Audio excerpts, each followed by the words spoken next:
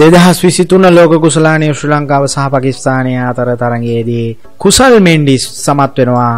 තමන්ගේ තුන්වන ශතකය වාර්තා කිරීමට තමාගේ ජීවිතය. නමුත් විශේෂම සිද්ධිය තමයි ලෝක කුසලාන ඉතිහාසය ශ්‍රී ලාංකිකයෙක් විසින් ලබාගත්ත වේගවත්ම ශතකය ලබා ගැනීමට සමත් වෙනවා කුසල් මෙන්ඩිස්. ඒ පන්දු හැට පහකින් මිට කලින් කුමාර සංගක්කාර දෙදහස් පහළවේදී එංගලන්තයට එරෙහිව පන්දු හැත්තෑවකින්. ඉඩත් කලින් තුන්වෙනි ස්ථානයේ තියෙන කුමා සංගක්කාර බංග්ලාදේශයට එරෙහිව 2015 දී පන්දු 73කින් හතරවෙනි ස්ථානයේ තියෙන පන්දු 80කින් මහේල ජයවර්ධන 2011 දී ආය මහේල ජයවර්ධන පස්වෙනි ස්ථානයේ පන්දු 84කින් 2011 ඉන්දියාවට එරෙහිව. ඉතින් එම ලයිස්තුව තමයි බිඳහෙනමෙන් කුසල් මෙන්ඩිස් අංක 1 බවට පත්වන්නේ පන්දු 65කින් දැවැන්ත ප්‍රහාරයක් එල්ල කිරීමට සමත් වෙනවා. අනෙක් විශේෂම කාරණය තමයි ඔහු පළවෙනි 50 නැත්නම් ඔහුගේ අර්ධශතකයේ වාර්තා කරන්නේ පන්දු 40කින් හැබැයි ඉතිරි පන්දු 25 දී ඉතිරි ලකුණු 50 ලබා ගැනීමට ඔහු සමත් වෙලා තිනවා. ඒක තමයි විශේෂත්වය.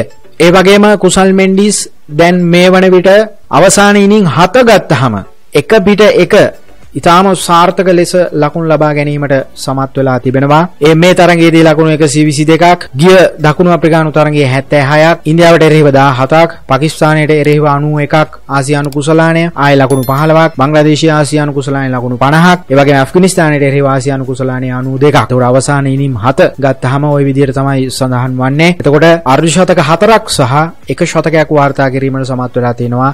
අවසාන ඉනිම් හතේදී කුසල් මෙන්ඩිස්. ඒ වගේම මේ වන විට කුසල් මෙන්ඩිස් මෙම ලෝක කුසලානයේ වැඩිම ලකුණුලාභියා බවටත් පත් වෙලා තියෙනවා මේ ලකුණු 122ත් සමග ලකුණු 198ක් ලබාගෙන තිබෙනවා. ඩෙවොන් කොන්වේ 184ක් ලබාගෙන නවසීලන්තයේ හිටපු ක්‍රීඩකයාගේ ස්ථානය තමයි 198ක් ලබා ගැනීමෙන් කුසල් මෙන්ඩිස් අංක 1 බවට පත්වන්නේ ශ්‍රී ලංකා ඉනිම අවසාන වද්දී පාකිස්තානයට එරෙහිව.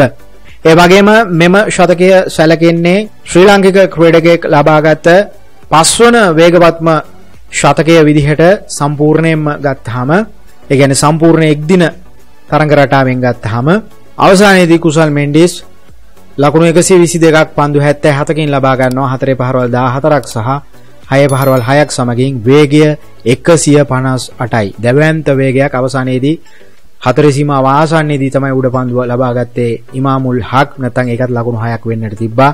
අතරම හසාන් අලියට පිට පිට නැත්නම් එම පන්දුවාරයේදී 6ව දෙකක් එල්ල කරලා තුන්වෙනි 6 පහර එල්ල කිරීමට යමේ තමයි දැවිගේ පාකිස්තාන ක්‍රීඩකයන්ගේ මූණු නිකන් අසරණ තත්වයට පත් වුණා පෙනෙන්නට තිබුණා එම අවස්ථාවේදී. ඉතින් කුසල් මෙන්ඩිස් දැවි යන විට පන්දුවාර 28යි පන්දු 5යි ලකුණු 218යි තුන්වෙනි කඩුල්ල විදිහට තමයි ඔහු දැවී ගියේ ඉතාමත් හොඳ ආරම්භයක් ලබා දෙමින් ශ්‍රී ලංකා ඉනිමට අතිවිශිෂ්ට ඉනිමක් ක්‍රඩා කිරීමට සමත් වනා හැබැයි කියන්නට ඕනේ කුසල් මෙන්ඩිස්ගේ උඩ පන්දු දෙකක් අතහැරයා. ශහින් ශහ අෆ්‍රීඩි එකක් අතහැරයා මුලදිම. ඒවගේම අතට ආපූඩ පන්දුවා ගිමාමුල් හක් අතහැරයා. ඉතින් එයින් උපරිම ප්‍රයෝජන ගනිමින් කුසල් මෙන්ඩිස් ලෝක කුසලාන ඉතිහාසේ තමන්ගේ පළවෙනි ශතකය වාර්තා කිරීමට සමත් වෙනවා. ඒ ආකාරයෙන් ඉතින් කුසල් ගිම්හන් මෙන්ඩිස් මේ වන විට එක් දින තරඟ එකසිය දා හතරයි ශතක තුනයි අරුශතක විසි හයයි වාර්තා කරගෙන තිබෙනවා. ඔහුගේ දෙවන ශතකය ඔහු වාර්තා කරලා තිබෙන්නේ දෙදහස් විස්සේ පෙබරවාරි මාසේ විසි හයවෙනිදා කොදෙව්වන්ට එරෙහිව හම්බන්තොටදී ලකුණු එකසිය දහනමයක් ඉතින් එදයින් පසු තමයි ඔන්න තුන්වෙනි ශතකය වාර්තා කිරීමට සමත් වන්නේ ඉතින් සාමාන්‍යයෙන් බැලුවොත් එහෙම අවුරුදු 3හමාරකට වැඩිය ගිහිල්ලා තිබෙනවා ඔහුගේ තුන්වන ශතකය නැත්නම් ඊළඟ ශතකය ලබා ගැනීමට. ඉතාමත් අපහසු කාලයක් තමයි ඔහු ගෙවන්නේ දෙවන ශතකයත් තුන්වෙනි ශතකයත් අතර. හැබැයි ලෝක කුසලානයක පළවෙනි ශතකය වාර්තා කරමින් වාර්තාගත ලෙස නැත්නම් ශ්‍රී ලංකාවේ වේගවත්ම ශතකය කියන වාර්තාවත් Taman සතු කර ගැනීමෙන් තමයි දෙවන ශතකයේ සිට තුන්වෙනි ශතකයට ඔහු ගිහින් තිබෙන්නේ. ඉතින් දෙවන ශතකය ලබාගෙන ඉනිම් 38ක් ක්‍රීඩා කරලා තියෙනවා එක් දින ඉනිම් තුන්වන ශතකය ඔහු ලබා ගන්නට මේ අවුරුදු 3හමාර තුල ඉතින් විවිධ විවේචනවලට ලක්වෙච්ච ක්‍රීඩකයෙක් තමයි කුසල් මෙන්ඩිස් ඒ වගේම විවිධ ප්‍රශ්නවලට මුහුණ දුන්නා.